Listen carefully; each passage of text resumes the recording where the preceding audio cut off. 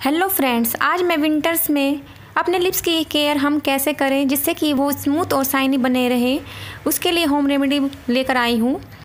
ये कोई नई होम रेमेडी नहीं है। आप में से बहुत से लोग इसे जानते होंगे। बस क्या होता है कि मार्केट में आए नए और महँगे प्रोडक्ट्स के चक्कर में हम इन्हें समय पर यूज़ करना भूल जाते हैं। तो आइए वीडियो शुरू करते हैं। सबसे पहले मैं कहना चाहूँगी, अगर आपके लिप्स ड्राई हो गए हैं और उनमें से स्किन निकलनी शुरू हो गई है तो आप उसे दांतों से या हाथ से पकड़कर बिल्कुल भी ना खींचें। अगर आप ऐसा करते हैं तो इससे आपकी प्रॉब्लम और बढ़ जाएगी। लिप्स से ब्लड आना शुरू हो जाएगा और सिचुएशन काफ़ी पेनफुल भी होती है। अब बात करते हैं होम रेमेडी की।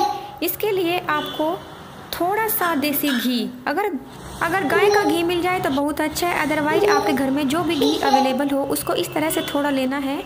इसमें अपने फिंगर डिप करके आपको अपने नेवल बटन पर यानी कि नाभि पर अप्लाई करना। चाहें तो थोड़ा सा अपने लिप्स पर भी देसी घी अप्लाई कर सकते हैं।